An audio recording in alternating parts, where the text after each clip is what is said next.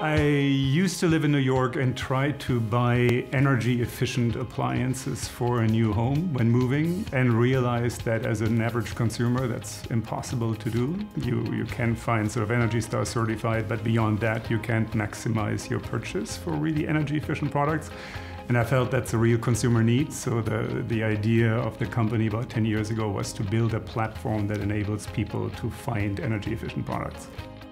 I'm really excited about working with Opower because Opower clearly pioneered the idea of behavioral energy efficiency, of getting people to be more responsible and aware of sort of energy decisions in their home. We can use the insights from Opower's work on knowing what's going on in home to trigger specific buying recommendations on our platform because then I take advantage of these benefits in the grid. I think that is where this ultimately will go by marrying the data sets of our platforms. I'm most excited about this Enervee partnership because it's just the natural next step. Um, ultimately, right now in the demand side management markets, you have a really strong emphasis on uh, changing folks' behavior, as well as years of experience getting folks to purchase the best products for their home.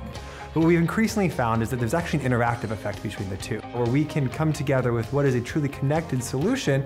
We can take the investments our customers have already made and make their value even higher for the customers that they serve.